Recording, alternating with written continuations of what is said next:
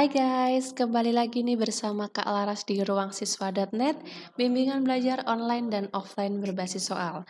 Nah, Kak Laras kali ini akan membahas salah satu soal yang soal ini dapat kalian akses di website ruangsiswa.net. Oke, langsung aja ke soalnya. Perhatikan diagram pembentukan bayangan alat optik X. Oke, di sini ada salah satu alat optik.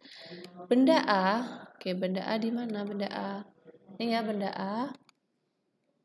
Nah, diletakkan 3 cm dari lensa objektif. Di sini ini adalah lensa objektif, ini adalah lensa okuler.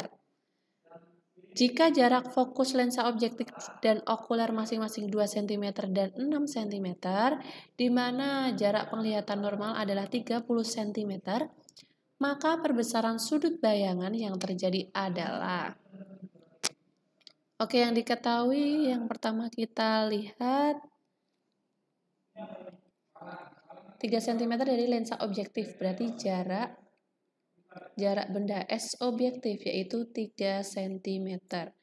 Kemudian ada fokus okuler, fokus objektif yaitu 2 cm. Kemudian fokus okulernya 6 cm. Dan SN atau jarak penglihatan lebarnya 30 cm. Nah, di sini Kak Lara sudah tuliskan untuk perbesaran sudut bayangan yang terjadi. Nah, ini Kak Lara sudah tuliskan persamaan perbesaran sudut yaitu M sama dengan S aksen OB per SOB dikalikan SN per FOK atau fokus okuler. Nah, di sini kita tuliskan dulu S aksen OB-nya. Nah, S aksen OB-nya kan belum diketahui. Kita cari dulu lewat persamaan apa? Lewat persamaan masih ingat seper FOB sama dengan seper S aksen OB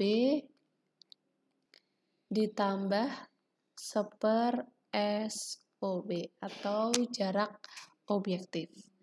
Nah, kita pindah ruas dulu. Seper S aksen OB sama dengan seper FOB dikurangi ya harusnya ya. Oke, dikurangi seper SOB. Ini F. Nah, berarti seper S aksen OB yaitu sama dengan seper 2 dikurangi sepertiga. Nah, sini sini 1 per S aksen OB sama dengan 1 per 6.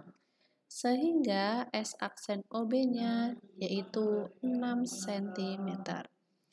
Nah, setelah ketemu, kita masukkan ke atas yaitu 6 per SOB-nya kita tahu bahwa SOB-nya berapa? 3 cm dikali SN-nya yaitu 30 per fokus okulernya yaitu 6. Oke, dicoret, dicoret. 30 bagi 3 yaitu M-nya 10. Perbesarannya 10 kali. Nah, ketemu jawabannya D. Oke, teman-teman. Kalau dicari perbesaran sudut, maka teman-teman bisa pakai persamaan ini ya. Oke, sekian dulu penjelasan dari Kak Laras. Semoga bermanfaat bagi teman-teman and see you. Bye-bye.